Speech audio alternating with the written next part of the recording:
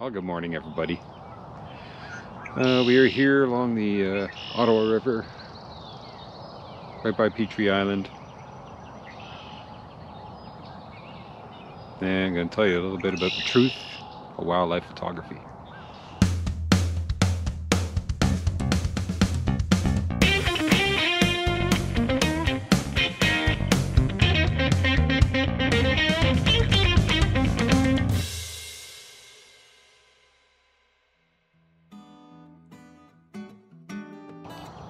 A lot of times, like on Instagram and Facebook and all that stuff, you see all these epic images of wildlife. The truth behind those images is hours and hours of sitting around doing nothing. Sometimes you gotta hike like, uh, you know, five, ten kilometers to get to a location. Then you get yourself all set up. You sit at that location for hours and hours. And the only shots you get are like a squirrel or something going by. Yeah, I've been sitting here for about an hour. You know, I got some, you know, the usual suspects. Uh, red-winged blackbirds, uh, robins, chickadees, song sparrows, hoping for a great blue herons, uh, maybe an osprey. I've heard an American bittern over there somewhere, but don't know where. And but yeah, it's funny. You got to sit around and wait for stuff. Um, a lot of times, walking around hunting for wildlife, uh, the more you move around, the more noise you make, the more it spooks them, right? So, so you gotta sit back, relax, and keep your eyes open. But yeah, this is the uh, the truth about wildlife photography. but yeah, we still have nothing going on here. Had a great blue heron just fly up uh, overhead.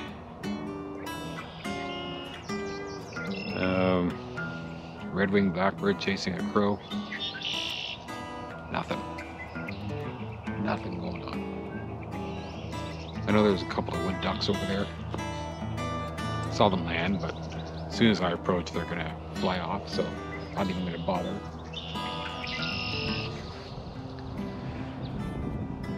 Still hearing that American bittern over there. But yeah, nothing, That's the thing. I'm out here in nature, enjoying uh, the outdoors. What more can you ask for, right? Except for wildlife, but anyways.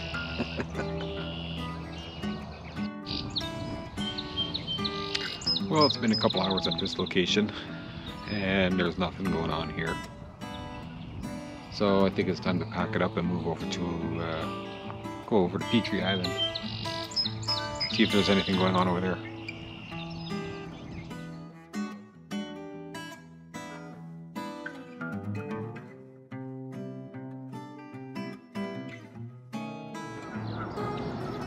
Well, we've had better luck here at Petrie. Uh, had a either a greater or a lesser yellow legs over there. Got to spend a good 10 minutes with him. And we got, of course, more geese, more ducks. Uh, we have tree sparrows, a whole bunch of those flying around. Don't know if I'll be able to get a shot of them, but that's okay. Had a great blue heron fly over as I was setting this up, so of course I didn't get a shot of him. There's kingfishers. Not that I could get a shot of them, but I heard them flying by. Well, it's turning out to be a pretty good morning so far. Had a uh, osprey fly by, got a couple of shots of him. Had a kingfisher perch in a tree branch just ahead of me here. And uh, he dove in and got something. I wasn't able to get a shot of that, but I would love to get a deer along this edge here, but Uh, I don't think that's going to happen. Had that happen to me once, probably about seven or eight years ago. I've only seen like about five or six deer here at Petrie Island.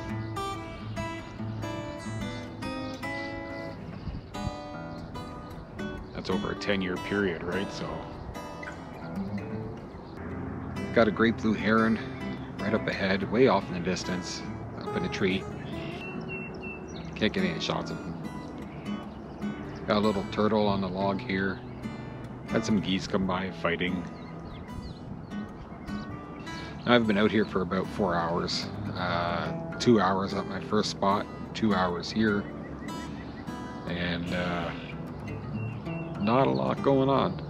So yeah, spent uh, four hours today. And these are all the shots that I got. Uh, well, these are all the, the keeper shots that I got. Not much. Um, yeah, not much going on. But yeah, that's the uh, the typical day for a wildlife photographer. Unfortunately, I have to cut my day short because I have to go to Costco. A couple mallards flying by here. Landing. So yeah, I gotta go to Costco. Fucking kill me now. Anyways, if you like these videos, you want to see more from me, you guys know what to do, right? Hit that like button. Subscribe to my channel. We'll see you in the next video. Till then, happy shooting.